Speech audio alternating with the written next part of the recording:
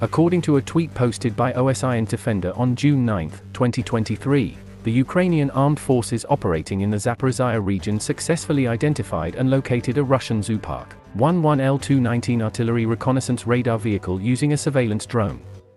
This vital information was promptly relayed, allowing the artillery units to target and effectively destroy the identified vehicle using a guided MLRS launched from an M142 HIMARS.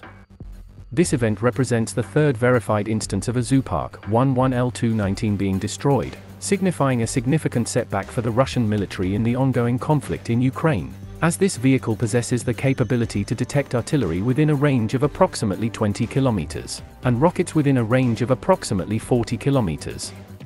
The Zoopark 1 plays an important role in detecting and monitoring enemy artillery positions as a counter-battery radar system. It is capable of detecting artillery projectiles launched from various weapons, such as guns, howitzers, mortars, and rocket launchers. By calculating the trajectories of these projectiles, it helps determine the origin of the enemy artillery. Additionally, the Zoopark 1 is used for adjusting artillery fire, contributing to improved precision and efficiency in artillery strikes. It also provides valuable data for counter-battery fire operations in modern warfare. The M142 HIMARS is a highly mobile artillery rocket system developed by Lockheed Martin for the United States Army. Recognized for its accuracy and extended range, the utilization of such technology demonstrates the advanced tactics employed by the Ukrainian armed forces. The HIMARS carries a single launch pod containing either six M30 guided rockets or one Army Tactical Missile System, ATACMS, missile. The M30 Guided Multiple Launch Rocket System, GMLRS, also known as the GMLRS Unitary Rocket, serves as a primary munition for the M142 High Mobility Artillery Rocket System, HIMARS.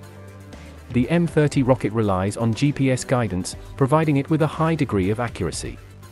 Under ideal conditions, its circular error probable, CEP, a measure of precision, is less than 5 meters, allowing it to strike near its intended target reliably. Equipped with a unitary warhead, the M30 contains a single, large explosive instead of multiple smaller submunitions.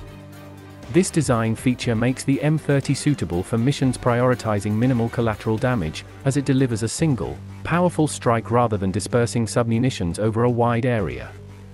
The M30 has a maximum range of approximately 70 kilometers, tilde 43.5 miles, although specific mission parameters and conditions may cause variations. Its long-range capability, combined with its accuracy and powerful warhead, makes the M30 an effective tool for precision strikes against high-value targets, including enemy artillery, command and control centers, and critical infrastructure.